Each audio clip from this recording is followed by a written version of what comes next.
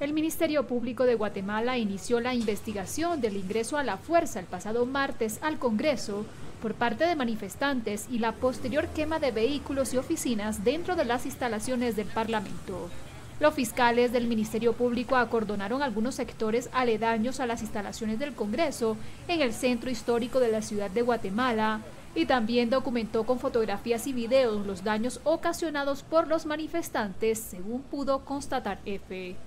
Los disturbios causaron heridas a cuatro periodistas y a más de una decena de agentes de la Policía Nacional Civil después de que los exmilitares irrumpieran a la fuerza en el Congreso para pedir que sea aprobada la iniciativa de ley que aseguraría su resarcimiento económico. Este miércoles, a diferencia del martes, más de 300 miembros de la Policía Nacional Civil resguardan las instalaciones del Parlamento en sus distintos puntos de entrada.